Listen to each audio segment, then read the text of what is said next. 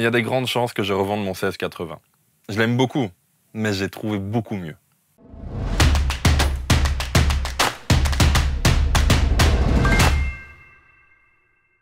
Ok, bonjour tout le monde, j'espère que vous allez bien. Bienvenue dans cette nouvelle vidéo, déjà la dernière de l'année 2021. Aujourd'hui, tu l'auras vu, on va comparer le Fujifilm 1655 mm 2.8 au Fujifilm 1680 mm f4. De par leur utilité, ce sont deux optiques qui se rivalisent quand même pas mal. On a d'un côté avec le 1680 mm f4 un objectif parfait pour le voyage, allant du grand angle jusqu'à un petit téléobjectif avec une zone de mise au point très petite, tropicalisée, stabilisée, assez léger, bref l'objectif presque parfait.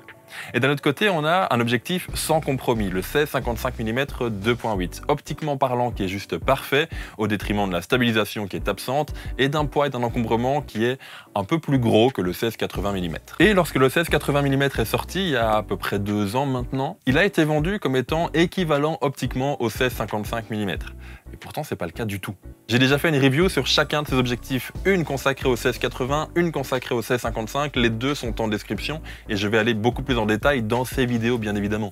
Ici, dans celle-ci, on va s'amuser plus à les comparer entre eux. Grâce à Fujifilm Belgique qui m'ont prêté le 16-55 mm, j'ai pu du coup comparer les deux pendant plus d'un mois. Petit aparté, ils ont juste oublié de me donner le pare-soleil avec, mais il y en a bien évidemment un fourni avec le 16-55 mm. Et quand on les prend tous les deux en main, il faut bien avouer qu'au niveau construction, ils sont assez semblables. On a tout d'abord une bague de diaphragme, une grosse bague de zoom et une petite bague de mise au point, le tout dans un fût en métal assez solide. Mais il y a un détail qui ne trompe pas, c'est le badge qui est sur l'objectif. Sur le 1680, on a un badge noir, tandis que sur le 1655, on a un badge rouge. Et les badges rouges, c'est les badges pro, les objectifs pro de chez Fujifilm. Bah oui, le 1655 l'embarque et pour cause, il y a une vraie différence optiquement. Je vous l'ai dit, au niveau prise en main, ils sont très semblables. On va retrouver sur les deux la bague de diaphragme, la bague de zoom et la bague de mise au point dans cet ordre-là. La seule différence va se trouver au niveau de l'encombrement, du poids et de la taille de la lentille frontale. 77 mm pour le 1655, 72 mm pour le 1680. Mais là, on va trouver une vraie différence entre ces deux objectifs, ça va être au niveau de la qualité optique. Une photo prise avec le 1655 et la même photo prise avec le 1680 ne seront pas les mêmes. Sur le 16-55 mm, on va avoir une netteté, un piqué qui est bien plus présent et sur toute l'image de la même manière. Tandis que sur le 16-80, on va avoir une image à quelques focales, notamment au grand angle et une fois passé les 50 mm, qui vont être un petit peu plus floues. Alors attention, le 1680 est déjà très très bon optiquement, mais le 1655, son principal rival, est quant à lui totalement parfait. Mais d'un autre côté, le 1680 a d'autres avantages. On a une plage focale qui est plus étendue, on a une stabilisation, on a un objectif qui est plus léger et plus compact.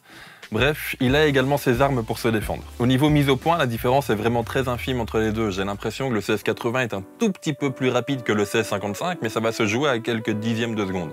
Donc pour moi, il n'y a pas de réelle différence entre les deux. Au niveau des défauts, je pense aux aberrations chromatiques, au vignettage, à la déformation, le 1680 en souffre un tout petit peu comparé au 1655 qui en a au final pas du tout. Je pense que le 16-55 mm 2.8 est le premier objectif que je peux tester où il n'y a pas de vignettage. en tout cas, il y en a tellement peu que je ne l'ai pas remarqué. Un défaut que je reproche aux deux objectifs, mais qui est plus normal sur le 16-55 que sur le 16-80, c'est que le fût est extensible.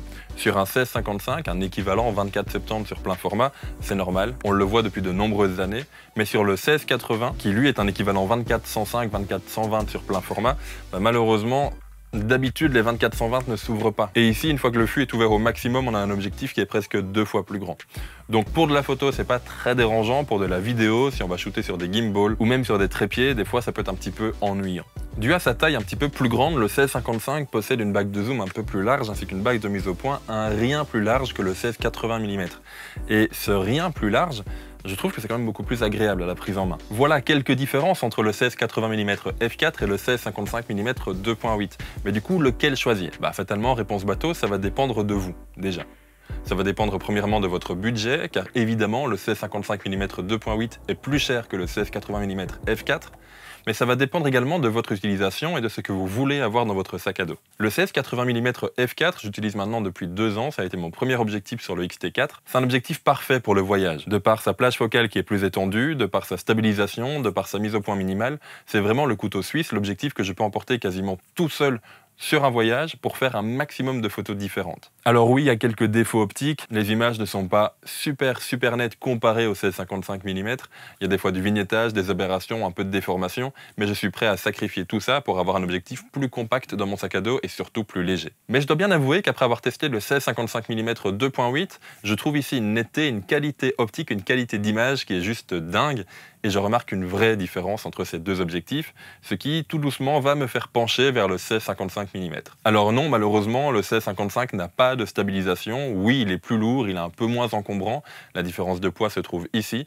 Elle est peut-être pas énorme pour vous, mais pour quelqu'un qui randonne beaucoup, ce qui n'est pas forcément mon cas, mais je prends l'exemple, gagner 100 ou 200 grammes peut faire une réelle différence. Mais pour ma part, je suis prêt à sacrifier ce poids-là pour embarquer une qualité optique qui défie toute concurrence. Bref, ces deux objectifs sont vraiment super bon. Le 1655 est un cran au-dessus du 1680 au niveau qualité optique, mais il faut bien avouer que le 1680 garde un côté pratique qui met à terre totalement le 1655 mm. Donc si vous souhaitez un objectif parfait optiquement parlant, penchez plus pour le 1655 mm.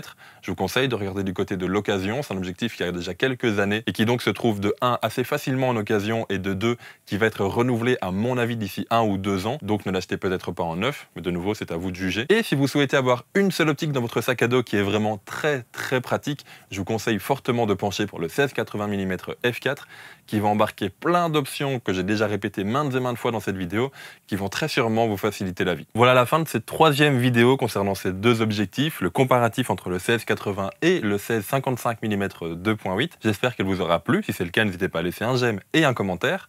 Et dans ce commentaire, n'hésitez pas à me dire ce que vous voulez comme nouveau comparatif entre deux ou trois objectifs, que ce soit du grand angle, du téléobjectif ou même des objectifs fixes. N'hésitez pas, mettez-le en commentaire et je travaillerai dessus pour de prochaines vidéos. Moi, je vous souhaite d'excellentes fêtes de fin d'année. On se retrouve la semaine prochaine pour deux vidéos, le mardi et le jeudi.